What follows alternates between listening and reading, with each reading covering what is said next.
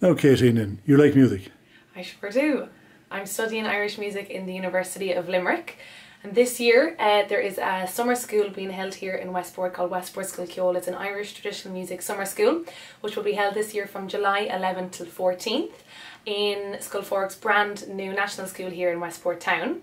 Uh, formal music classes begin each morning, Monday through to Friday at 10am to 1pm. And this year we've introduced a brand new songwriting class with upcoming singer-songwriter Lisa Canny, who's currently based in London. And there's a, many activities that go on throughout the week, like the classes. We have sessions, tutor concerts, and uh, children, teenagers, adults alike take to the streets of Westport throughout the week and busk. So the whole town is filled with Irish traditional music. Um, Westport Ceol is well acknowledged with the Department of Education and Skills endorsing it. All national school teachers who attend the school get their EPV day approval dates. So that means a lot of teachers bring along their kids, bring along their families, making it a real family affair.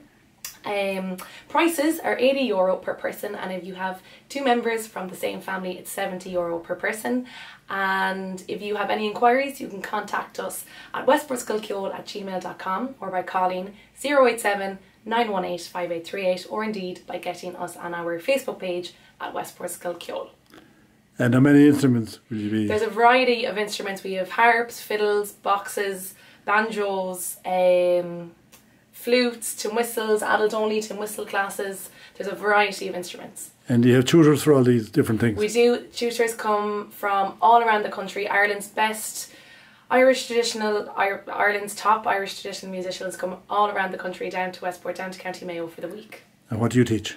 I'll be teaching fiddle this year. Fiddle, yeah. Yeah. And how did you get involved in all this? Music. Uh, uh, yeah, I'm studying Irish traditional music in the University of Limerick, and my mom, uh, Dr. Maureen Thornton, recently completed her PhD in Irish music in 2014. So we kind of co-managed the school along with Art O'Sullivan. And what was her topic? But her topic was Irish music in the education in the national school, Irish music and education. Yeah. And does she come from a musical family herself? She does, yeah. Uh, for years, uh, she competed in the Fleadhs, as do we now, all her kids, and she was in the Ballintubber Céilí band for years growing up. And is she still in the Ballintubber band? Not anymore, but she's played away. She substituted them for us now. you didn't have a family of musicians or a band of a family band, no? Uh, well, yeah, I gig with my sisters, my little sisters, my brother, my mom, the Heneghan family, mm. yeah. And what's the state of Irish music like in Ireland now? Well, I think it's better than ever, yeah, and we're just trying to get the youth up playing and get as many people as we can. I know they don't do a whole lot of it in schools anymore, so an opportunity to play and endorse yourself in a, in a summer school like this is fantastic and it really makes practicing fun and you meet friends, you meet similar people who have similar interests and yeah, it's great.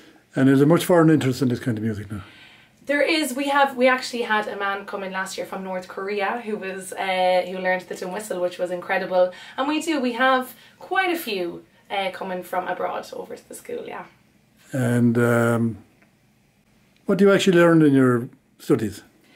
In in Limerick. In, in Limerick, yeah, yeah, yeah. Uh, it's a lot of it is practical based. So mm. I study the fiddle, the harp, the piano, and the guitar there.